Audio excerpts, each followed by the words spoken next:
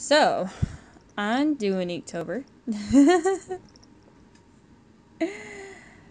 okay, so this is the thing. I randomly decided to do this basically um, at one where I'm at for school. I have to teach a lesson. I'm teaching a lesson on Inktober and how to do um, like inking techniques like cross hatching and stippling and stuff like that, which, you know, obviously this does not have all that in there.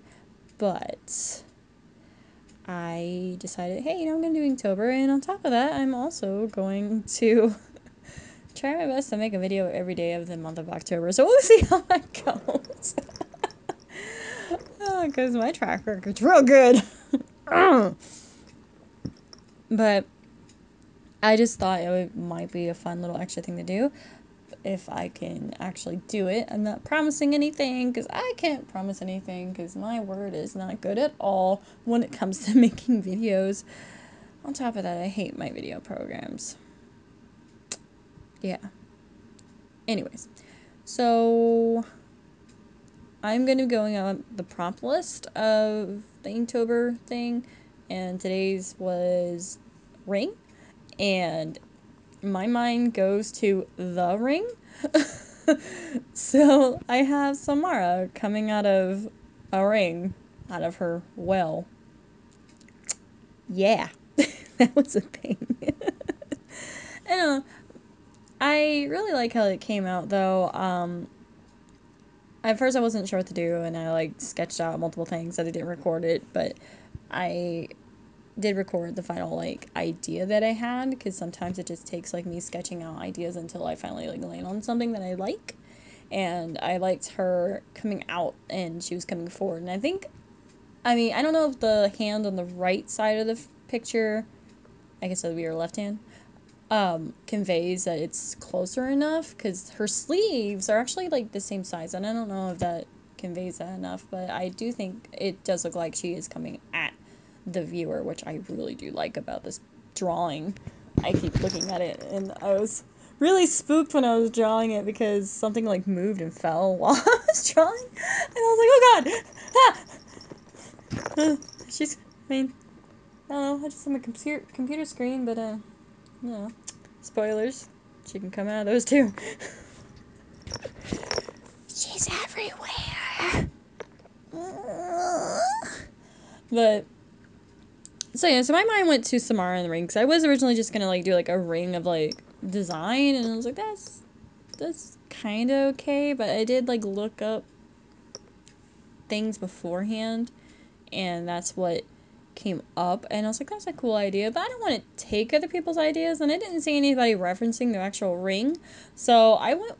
I mean, as you obviously know by now, I went with that. um, the things I'm using is a mic mostly a Micron 08 and then I switch over to using a Copic 005 I think it was the liner and I also use a couple Copic um markers. I don't know if that's cheating in Inktober, but I mean it's still ink. Right? Right? Right. Okay. and yeah, and I don't know I, I I'm not going to be talking in every one is single one of these videos. There's no way in heck that I'm doing that. Um, because that will be too much with my workload and my school load and stuff like that. But I, you know, maybe every now and again I can talk about um, just various things, what I'm learning in school, um, what I, because I am in art school, technically, um, it's art education, but I can talk about different things with art school, like what I expected. Maybe it could be a video one day, and or you know, um, what it's like going to like going into being in a teacher, if that makes sense. Because I'm going, uh, my college today, if you don't know, is um going for to be an art teacher, and um I could talk something about that, or if there's ever anything that if anybody um, has any questions about art stuff, like art block or whatever, I could talk about that too, um, and what I do for it. Cause I mean, I I kind of suck with art block a lot of the times, but it, I, I get through it. yeah. But, so I used, um, a lot of cross hatching. I love the look of cross hatching with black and white ink, and that's what I kind of like lean towards. I do want to try like doing ink washes too, if I have time, because I do have like my little ink thing from last, like two years ago, um, that I have. So I'll be trying some of that. And yeah, I know this video talk was kind of all over the place. I'm sorry, it's been a while.